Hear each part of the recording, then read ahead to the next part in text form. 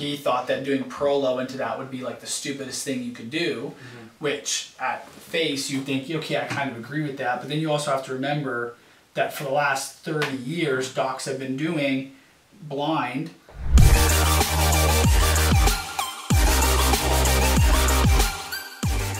Where did you first learn about fat pad injections? Um, nowhere. You just thought about it? So, uh, what? So I'll walk you through how how this kind of came about. So I had a patient who um, he had chronic Achilles tendinopathy, and um, like which was confirmed via MRI and my ultrasound scan. He had um, both at the enthesis and in the actual tendon. And so at first we did uh, prolotherapy to the calcaneal insertion.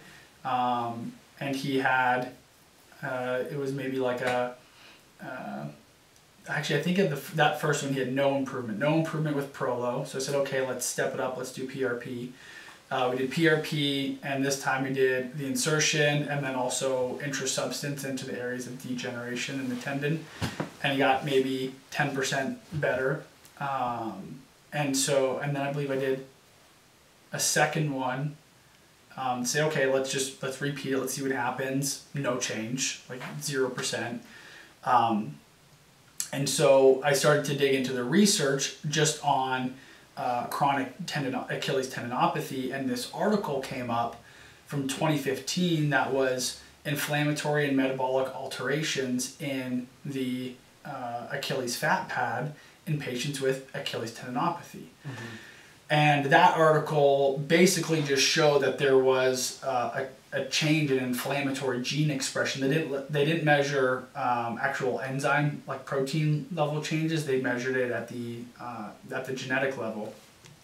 But they saw increase in TNF alpha, IL six, IL ten, um, the IL one R, and so um, so I basically went to the patient and I said, hey, I've got this really random theory mm-hmm. and I want to just try and I'll just do an injection of PRP into your fat pad.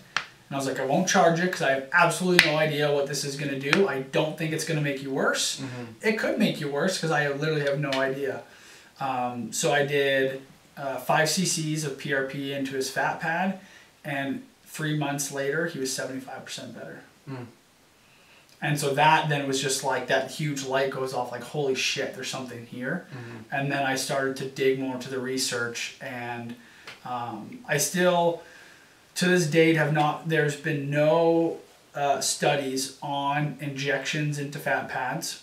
Um, there's a, a case study that I came across on fat pad degeneration following a uh, steroid injection into Hoffa's fat pad for um, uh, Hoffa's disease, uh, which is basically fat pad impingement and degeneration. Um, there's been studies on uh, outcomes from total knee replacements where they leave the fat pad at, versus removing the fat pad. And actually, uh, if you remove the fat pad, patients tend to have more anterior knee pain um, than if you leave the fat pad. Um, but there's been no other interventions on uh, on that. So mm.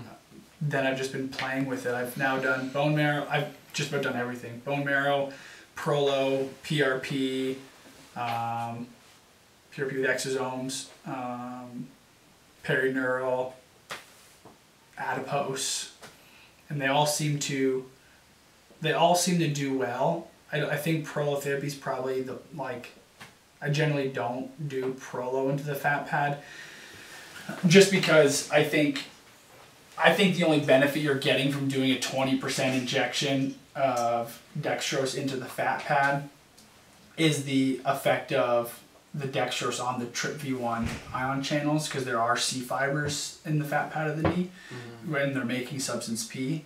Um, because I don't think, I mean, while there are some fibroblasts in the fat pad, I mean, we're not looking to increase fibrosis in the fat pad.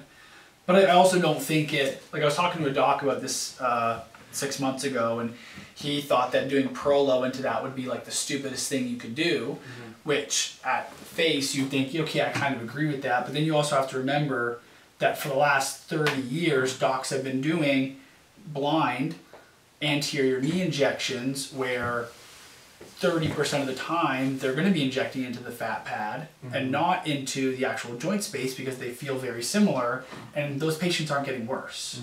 They might not get as as uh, as much improvement as they could but they're not getting worse